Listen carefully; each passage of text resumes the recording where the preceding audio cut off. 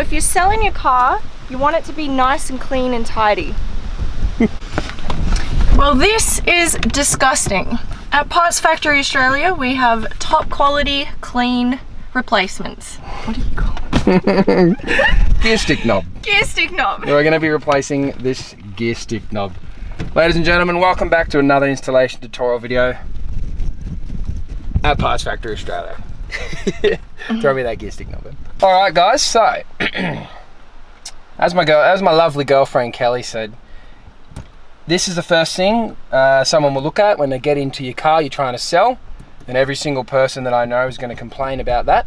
So at Parts Factory, we have replacement gear stick knobs. Now, my job today is to show you how to replace this. Um, really, really super easy. You literally just grab it and twist it off. But of course, I understand you need someone to show you that that's how it's done.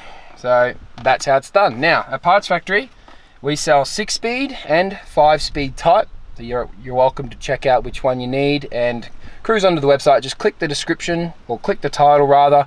The description will pop down. We'll have both options available. You can select which one you need and of course we'll deliver it to you. I think they're $48.30 free express post anywhere in Australia. And at that point guys, you just bring it down. And as you can imagine,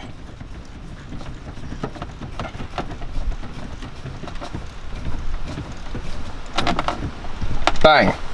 And that's it guys. Now your car is ready to sell. Now you've just added 500 bucks resale value and the, the little uh, gear stick knob only costs you 43 or 48 bucks. So you owe me 450 bucks.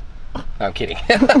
now good luck guys. I hope that everything goes smoothly. If you have appreciated this video, uh, please thumbs up and if you can subscribe to the channel. You never know when you're going to need more assistance doing repairs on cars like this one. Thanks for watching and i'll see you later